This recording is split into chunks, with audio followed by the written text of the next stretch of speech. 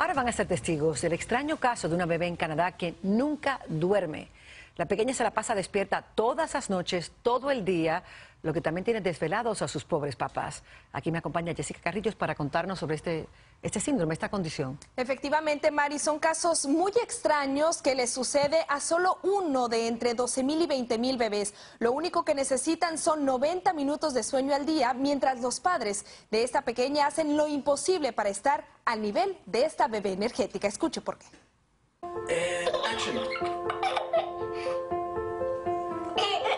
Pequeña es extremadamente feliz. Le encanta jugar con el agua y simplemente no para de reír. Podría ser algo normal para los niños de su edad. Sin embargo, son solo algunos de los síntomas que sufre la pequeña Ever, quien padece del síndrome de Angelman, un desorden genético y neurológico que afecta a uno de cada 12.000 a 20.000 nacimientos. Desde que nació, presentó problemas para retener la comida y lloraba prácticamente por todo, pues nada la hacía feliz. Supimos que tenía reflujo ácido extremo y una vez que le dieron el tratamiento adecuado, pudo retener la comida y estaba más feliz. Fue entonces que comenzaron a notar los síntomas del síndrome de Angelman. En este punto estaba muy feliz, demasiado feliz.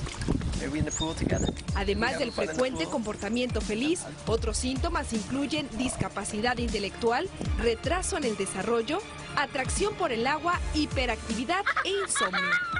La falta de sueño ha sido una de las pruebas más duras para sus padres, pues estos pequeños pueden sobrevivir con tan solo 90 minutos, o sea, una hora y media de sueño diario. Estamos con ella todo el tiempo, pero también necesitamos dormir y ella no.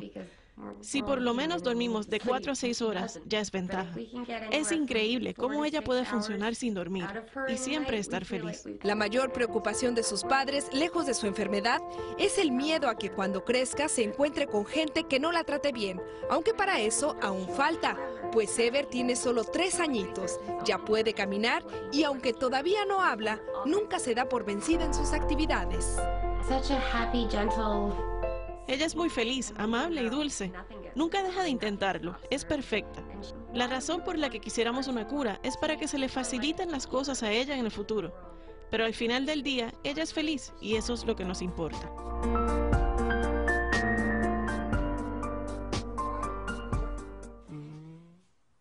Bueno, y hasta el momento el síndrome del Angelman no tiene cura, pero hay científicos ya trabajando en encontrarla. De hecho, Mari, se han visto algunos cambios en niños que se han sometido a algunos tratamientos y bueno, esto indica que la cura podría estar cerca.